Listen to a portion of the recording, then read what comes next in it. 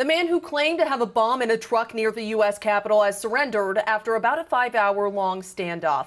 Police say 49 year old Floyd Ray Roseberry of North Carolina pulled a black truck up on the sidewalk outside the Library of Congress and told officers he had a bomb. Snipers say they saw him holding what looked like a detonator inside the truck. People briefed on what happened told the Associated Press Roseberry wrote notes out and showed them to police negotiators from inside the truck. He crawled out of the truck around 2.30 this afternoon and was arrested. No word yet on if the bomb was operable. Katie Johnston for WJZ.com.